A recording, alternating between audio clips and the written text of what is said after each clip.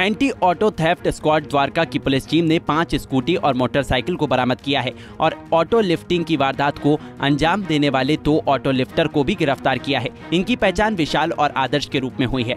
ये दोनों इंद्रपुरी इलाके के रहने वाले हैं। इनकी गिरफ्तारी से उत्तम नगर, दाबड़ी और रनहोला थाने के पाँच मामलों का खुलासा करने का पुलिस ने दावा किया है।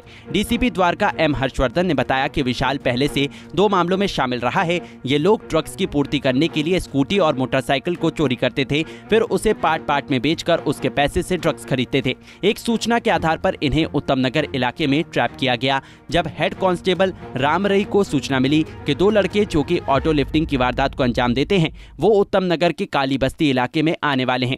पुलिस टीम ने ट्रैप लगाकर वहाँ पर दोनों को दबोच लिया। उनकी पहचान हुई जिस स्कूटी पर वो आए थे, वो भी उत्तम नगर से चोरी की निकली। आगे की पूछताछ में उन्होंने बताया कि उन्होंने और भी मोटरसाइकिल और स्कूटी चोरी की है। चोरी करके कहीं इधर उधर खड़ी करके उसके पार्ट को बेचकर अपने ड्रग्स की पूर्ति करते हैं।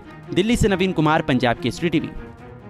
हमसे जुड़े रहने के लिए हमारे YouTube चैनल को सब्सक्राइब करें और नई वीडियो की नोटिफिकेशन के लिए बेल आइकॉन को दबाएँ।